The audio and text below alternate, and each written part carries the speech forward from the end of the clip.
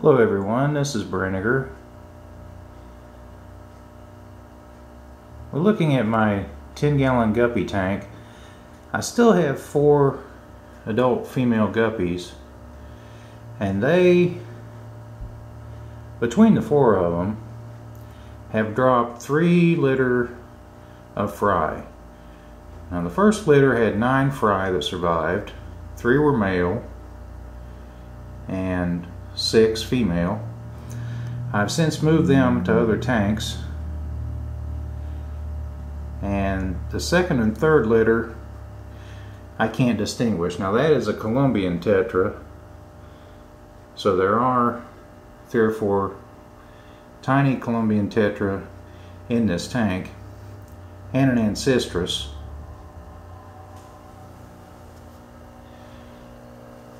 and this is my fry starter tank. There are at least half a dozen Colombian Tetra fry in here which I got from the last water change I did in my 112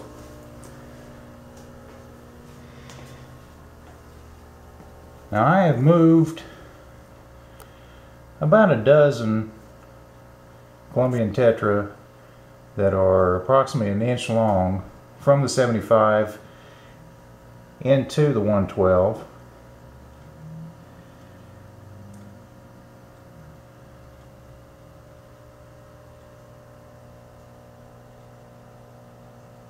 Only Colombian Tetra in this tank.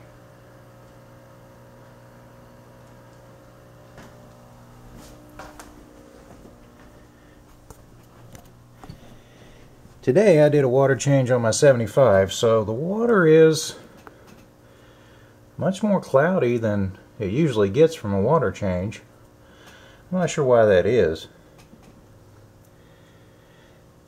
But I noticed when I did the water change that the Columbia or excuse me the South American bumblebee catfish was hiding in that negative space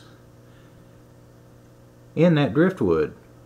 And when I lifted it to place it to the other side of the tank while I was doing a gravel vac, it was actually stuck in that space. It fell back into the water and then it spent quite some time, perhaps half an hour, just sitting in one of those plants. Didn't seem injured or anything, just uh, startled, I guess be taken out of the water. I did find one dead fish when I did the water change, somewhat desiccated, and it was obviously a neon tetra because the Colombian tetra are very hardy and I'd be very surprised if one died of anything besides old age once they're this size. I've tried to count the neon tetra. I've been able to count 10. I hope there are 12. Started with 13.